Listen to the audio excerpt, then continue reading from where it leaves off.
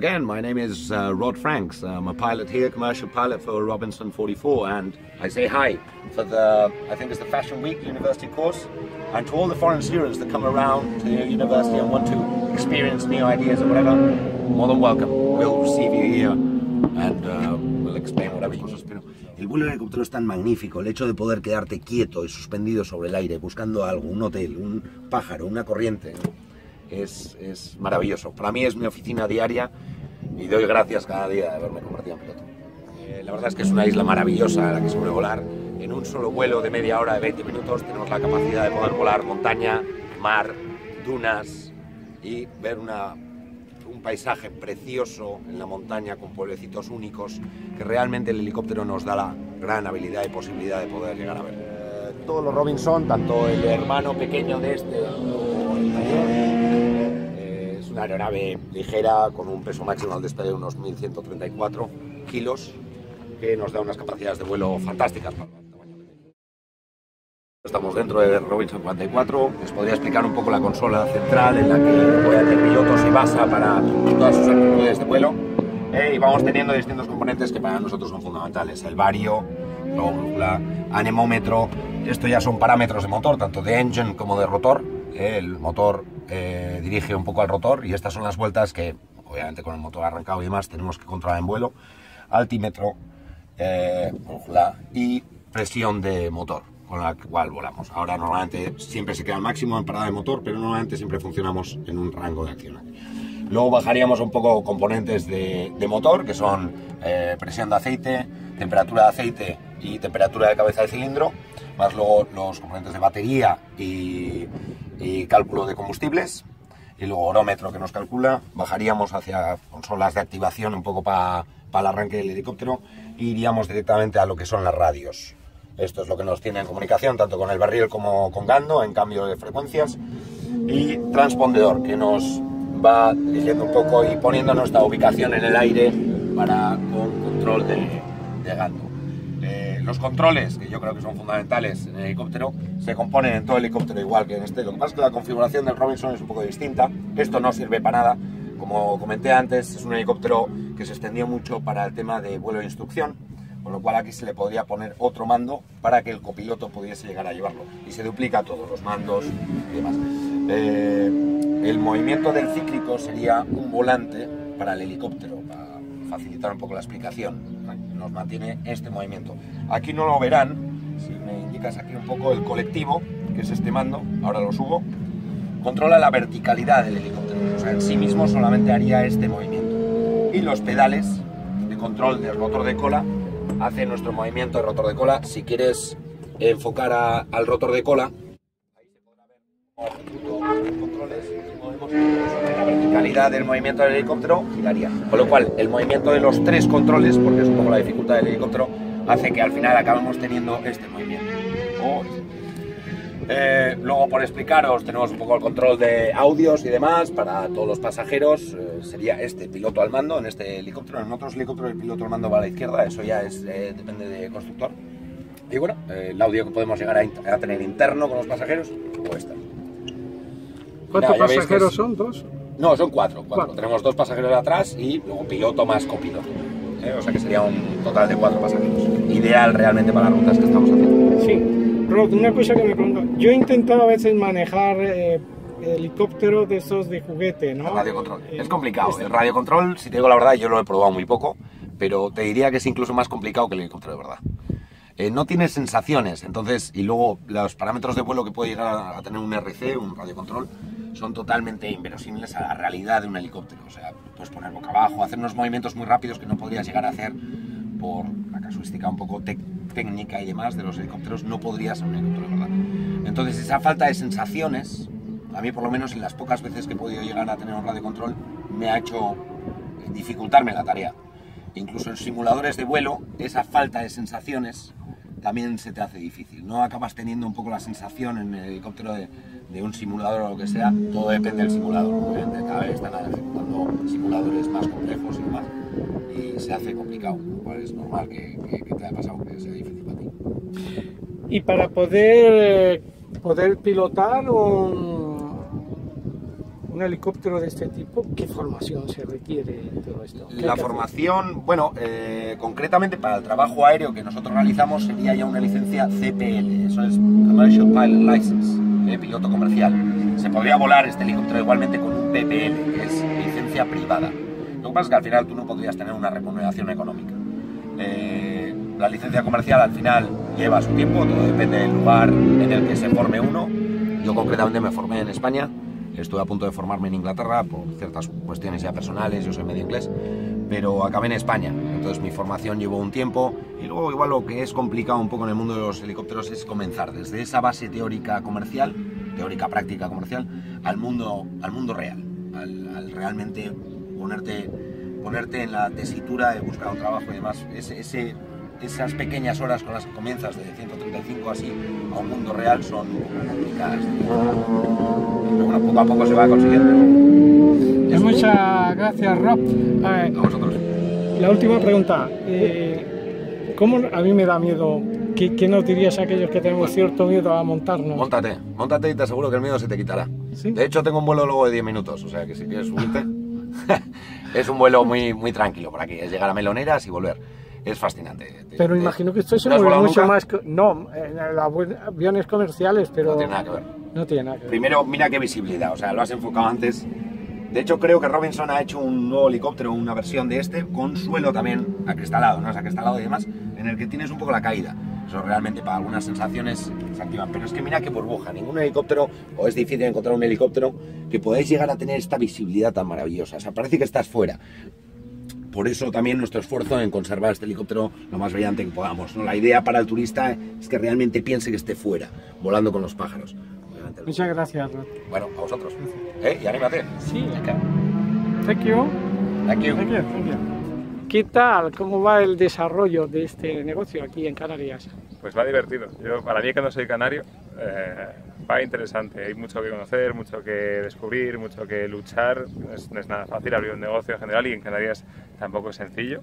Pero, pero es muy interesante. El lugar es bonito, la empresa y la aventura sí valen oro. O sea, que, muy bien. ¿Existen en España más dificultades que en otros países para montar un negocio en el desarrollo en cuanto a la burocracia, el papeleo y todo eso? Hombre, nunca he montado un negocio fuera de España, con que no te puedo decir mucho. Sí que me imagino que España no es un país especialmente eficiente eh, y tampoco es especialmente barato. Mucha gente dice que, que aquí se paga muy poco impuesto, pero no es cierto. Se pagan impuesto como en todos sitios, porque en Alemania pagan mucho y pagan lo mismo aquí, en algunos casos, en algunos, en algunos temas. Con lo cual, no sé si es más caro o más barato. Sí que para traer algo en Canarias, eh, para importar, ya sabemos todos los que estamos aquí que no es nada barato cualquier trozo del helicóptero que haya que traer, hay que traerlo ya no de, de Alemania a Madrid, sino de Madrid aquí. Barco, tasas, eh, aranceles y demás. Entonces, bueno, es un poquito más caro eh, que otras circunstancias en general. Ya, y los servicios de explotación de Canarias Helicóptero, ¿qué servicios Pues mira, tenéis, eh, tenemos desde vuelos turísticos para, para cualquiera que quiera conocer un poquito de la, de la isla, o un poquito más, o toda la isla entera, eh, o volar por, cualquier- por cualquiera de las otras islas tranquilamente también, o bien trabajos aéreos, eh, filmación sobre todo, eh, spots publicitarios, eh, lo diré, películas, filmaciones de regatas, rallies, cualquier tipo de, de cosa, o bien transportes de mercancías que en su caso se requieran carga externa, poquita con este helicóptero, pero se puede hacer también, y otros servicios que podemos eh, gestionar con otros helicópteros, con lo cual, Eh, por ejemplo, todo lo que se puede hacer con helicópteros. Sí, ¿no? si me encargo En mi mi trabajo de fotografía de la isla, pues un helicóptero podría ser. Pero a- Para llegar, a- para llegar al sitio rápido es lo mejor y para sacar los mejores planos es muy bueno también. Funciona, funciona muy bien, además tenemos buen ojo para, ya, para captar. sí. Y la- los precios son muy prohibitivos, poder No, alquilar un helicóptero, ¿no? De hecho, a ver, es un dinerito, sin duda, porque no es, no es como alquilar un coche, es un poquito más caro, pero además mantener y, mantener y volar con legalidad y con seguridad para todo esto es, eh, no es nada barato. Pero en general nuestros precios, comparados con cualquier otro lugar de hecho del mundo, son espectacularmente buenos. Eh, podemos volar desde 80 euros, dar una vuelta por las dunas, más palomas, eh, Playa del Inglés y San Agustín, a por entre tres amigos, unos 90 euros, darnos un pedazo de vuelta a cualquier punto de la isla. Y entre medias, pues todo lo que queramos. Eh, Es que todos hacemos senderismo y digo, como te caiga y tenga que venir un helicóptero a recogerte, No, son pero es- 500 mil 500, eh, 500 no, mil euros. 2.500 euros la hora. 2.500 de rescate, ¿no? El helicóptero de rescate, hasta donde yo sé, que es el otro lado donde yo ando, sí. Eh, por lo que hay, me enseñaron algún alguna normativa, algún POC, no me acuerdo bien, sí. Eh, creo que es 2.500 euros ahora, pero no me toméis esa palabra porque no es un dato oficial ni estoy seguro de ello. Pero es lo que me suena haber, haber leído. Por lo tanto, debemos de desterrar eso un poquito, ¿no? Un helicóptero es prohibitivo y ya de principio lo descarta. Hombre, es más caro que un avión, pero es mucho más seguro que un avión para, para hacer según qué. Para ir de AVE, por ejemplo, si quisiéramos ir a Tenerife en helicóptero, pues es hasta más lento y mucho más caro. Sin embargo, al llegar a Tenerife aterrizamos en cualquier agujero que nos, en el que podamos aterrizar legalmente. Entonces, avión hay que irse, pues un aeropuerto y ya está, hay más opciones. Un poquito lo interesante. Y la vista, la vista. De esto. Si asomáis la cámara adentro, lo veréis. O sea, no tiene nada que ver. O sea, es, todo cristal, es una burbuja, es, es pura visión del mundo. Y, y, en un avión, en cambio, pues, tiene panel hasta aquí, panel por aquí, no se ve nada. Pero estamos acostumbrados ya a los aviones comerciales dar un salto aquí, porque esto se mueve mucho, ¿no? Mucho menos un avión, muchísimo menos, menos, muchísimo menos. Sí, no da. De hecho, metidos en, en la misma condición de aire, o sea, en un, si nos metemos en una misma corriente de aire, el helicóptero se va a mover mucho más despacito, es como un, como un Mercedes clase S o una cosa así, una berlina con suspensión suavecita, o en el caso del avión sería el equivalente a, yo que sé, un Lotus, algo con una suspensión muy directa. Entonces, el impacto del avión es mucho más seco con el viento, en cambio en el helicóptero también se mueve, pero es mucho más acolchado, muchísimo más, no tiene nada que ver. De hecho, bueno, podemos volar en días de viento que los aviones no vuelan cómodos. Canarias se está lanzando un poco por el tema de la, de la imagen y lo que son la filmación de películas. No sé, ¿han tenido la oportunidad de rodar? Hemos, hemos tenido la oportunidad sí. de rodar, de hecho de participar, o sea, de meter el helicóptero dentro de una peli que fue La Reina Intocable. Sí. Esperamos que se estrene prontito, que son gente magnífica y maravillosa. Sí. Eh, y fue muy divertido, filmamos una escena de acción con el Eli. Primero en tierra un poquito de, eh, no sé cómo se llama, de background o de escenas para, para montar luego efectos especiales. Y, y, luego hicimos un par de escenas reales ahí, una escena real eh, con el Eli, muy divertido, muy interesante. Sí, y aparte, sí. bueno, filmamos, hemos trabajado con programas de televisión, con películas, con historias. Eh, hay que pensar una cosa, siempre que una película se ve en una toma aérea, sale por lo general un helicóptero. Ahora hay más drones, pero operan poco porque además es complicado operarlos legalmente. Y, y hasta hace bien poco apenas se usaban en, en producciones que no fueran muy grandes. Sí, generalmente lo que son helicópteros son en esto, pero ¿cómo poder desterrar esa imagen de que un helicóptero es tan caro? ¿Qué servicios estáis, hay? Estáis empeñados en que el helicóptero es muy caro. Sí, es verdad, por eso hago hincapié. El, el helicóptero cuesta un dinerete, ciertamente. Mira, un, un, regalo, son casos de muchísima gente que nos ha venido esta Navidad, por ejemplo, en Día del Padre. Eh, regalo para la pareja, para, para papá y mamá, o para un aniversario, para los, para los, papis, para los papis, que diga. Eh, sale tranquilamente por 300 euros un vuelo, de, un vuelo que dura 20 minutos y va desde, desde aquí, volamos línea de costa, vamos a las dunas, pasamos un poquito más allá de Meloneras, llegamos a Pisto Blanco, subimos a Sabre Golf, cogemos interior, Barranco de Arrineguín, Parque Natural de Pilancones, o sea, se ve montañas, se ven perspectivas que son espectaculares de verdad. Son 300 euros que escuecen cuando se sueltan, pero, pero la sonrisa, la sonrisa con la que baja la gente, es que lo, que lo que se vive, cómo se vive, cómo se siente, cómo se, cómo se percibe, en un lugar como este, en Gran Canaria, mm. en un medio como el helicóptero, más aún este que además tiene mucha visibilidad, no tiene nada que ver con... Se puede parecer un poco al parapente, un poco, pero es mucho más rápido, o sea, es más dinámico lo que se ve, que no más agresivo, es más dinámico. El, los cambios de, de paisaje, de, los cambios de referencia, de, sí. eh, de, las diferentes paredes, de los diferentes barrancos que hay, eso subyuga mogollón. O sea, tienen algo en el ojo que no estamos acostumbrados, no conocemos, no es natural de nuestro, de nuestro andar bípedo a ras de suelo. Eh, y es de verdad, de verdad, toca, toca. La parte que la isla es maravillosa. Tenéis, Canarios tenéis una isla maravillosa. Ya, pero seguro que ha tenido muchos clientes, pero alguna anécdota así que recuerde ahora. La verdad es que soy un tipo un poco aburrido y en este caso anécdotas ha habido un par así simpáticas, pero no hacen gracia al vivirlas y a mí por vivirlas, pero no tanto al contarlas. Estoy pensando, dame un momento. Pues te canto. Me preguntabas por anécdotas. Eh, no pasan muchas cosas curiosas, ciertamente, pero sí que es, también es verdad una cosa. Estamos acostumbrados a, volar en helicóptero, que para mucha gente es algo tremendo y espectacular. Entonces, también cosas que son muy peculiares eh, para, el día a día de, un, cada persona individual se nos pasan a veces por alto. Por ejemplo, cuando hemos hecho, hacemos de vez en cuando vuelos de pedida de mano, vuelos así, pues, para llevar gente a su boda o tal, o en este caso, eh, de declaración, para el novio a la novia, la novia al novio. En ocasiones hacemos montajes en tierra eh, ya nos ha pasado en un par de ocasiones con montajes hechos por los clientes o por, por amigos eh, tener que darle tres y cuatro vueltas al montaje para ver y poder leer el cartel correctamente de Mari o Ana, ¿te quieres casar conmigo? Eh, y está dando vueltas y la cara, yo estaba viendo así por el rabillo del ojo aquí detrás al, al novio, con la cara de apuro, como de que no le dicen que sí, le van a decir que sí, ¿no? pero que no acaban de decirle que sí porque no acaban de leer el cartel y está, es algo evidente, grande, legible en, tierra, pero eh, esos momentillos, por ejemplo, de, de apuro del a ver si me lo dice o no, a ver si dice que sí o que no. Eh, es, es una cosa de las curiosas que hemos vivido un par de ocasiones. Alguien que dispone de muy poco tiempo llega al aeropuerto de Gando y quiere venir a, pues no sé, a firmar un convenio, un contrato a, la, a Las Palmas. Tranquilamente, desde Gando podemos hablar. Ese puede a Gando y venir. ¿Cuánto se tardaría de Gando a Las Palmas? ¿De Gando- por de? Gando aquí? Sí, Aquí. a Las Palmas. A Las Palmas, tiene que estar en una zona abierta de Las Palmas. Eh, nada, a Las Palmas hay nada. Si no, si no hay problemas de tráfico aéreo, son 8 minutos, 7 minutos. Siete. Son seis Eh, minutos. ¿Qué me cobraría? ¿Cuánto tardaría y más o menos cuánto me Lo de costaría? cobrar depende sobre todo del, del día y de si hay que ir y volver varias veces, porque eso va sobre todo por tasas. Tiempo de vuelo nuestro es poco, eh, Ujú. al total puede salir cerca de 40 minutos de vuelo, con que pues no sé, 700 euros más o menos, pero, pero luego las tasas eh, en Gando son... De hecho ahí no te voy a decir precios si quieres, porque es, es un poco, es un poco chorras. Te voy a decir algo diferente. Nos- eh, primero, cuando llegan a, a visitarnos, yo digo, "Ah, soy Ramón, voy a ser su piloto, me dicen, no eres muy joven tú, ¿cuántos años tienes?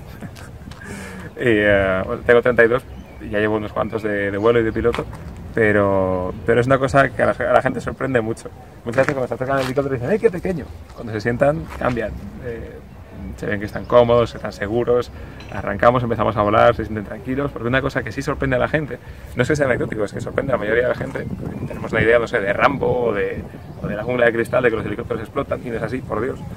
Eh, es que es súper suave y es que es muy muy suave, es mucho más suave que cualquier tipo de vuelo en avión algo así, es un helicóptero ligerito, muy bien equilibrado y tal, entonces vibra un poquito en vuelo, hay muy poquito ruido, eh, porque además llevamos auriculares y en general la experiencia es, es toda muy suavecita, o sea, uno igual se espera algo parecido a, no sé, pues, eh, carreras o acción, adrenalina y tal, y si queremos claro que se puede hacer así, pues que lo que hacemos por lo general es hacerlo lo más suave que se puede, y aún así es divertido, pero sobre todo es muy suavecito.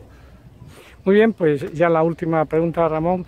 Eh, ¿Cómo invitarías a la gente de una manera divertida a probar vuestros servicios?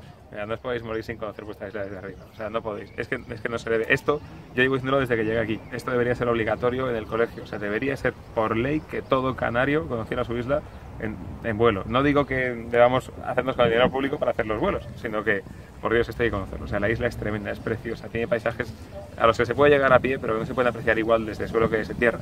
Eh, o sea, que desde el suelo que desde el aire. Eh, son espectaculares. Son, tiene rincones únicos, colores, luces eh, días, efectos de las nubes, o sea, es una locura de isla como para conocerla. Y además es, es vuestra isla, es, bueno, ya también un poquito mía, es, es nuestra isla. Entonces eh, merece la pena disfrutarla muchísimo, muchísimo. Y además es inesperadamente bonito, inesperadamente agradable, siempre. La sonrisa, la sonrisa dice todo. Mirad nuestro Facebook. Y veis cómo se baja la gente. ¿Cuál es la dirección? Eh, Canarias Helicópteros, en Google o en Facebook o en TripAdvisor podéis ver cuánto se queja la gente y las fotos que hay, que sonríen y estas cosas. Algún que otro vídeo en YouTube, pero poquito, porque no tenemos tiempo para hacer vídeos. Así que, oye, mira, cuando queráis, por cierto, ingenieros todos y colegas de- del curso de fotografía y tal, Sí, si sí. queréis hacer vídeos chulos del Eli, ya hablaremos de algún regalo, premio, bueno, gratis. Pues nada, ya No mala, ¿no? en la próxima edición que haremos el año que viene ya tenemos un sponsor y ya pensaremos. temática, un, un montaje chulo de vuelo en helicóptero. Sí, con Aquí modelos, ¿no? colocáis cámaras, lo que os dé la gana, Sí, sí. y os regalo un vuelito de vuelta. Muy bien, pues muchas gracias y lo tenemos en consideración. Perfecto. Pues muchas gracias, Ramón. A y vosotros por venir. Oye, volar, que es una gozada. Luego os cuento si queréis el helicóptero de rescate. Esperemos gozar. Pues muchas gracias.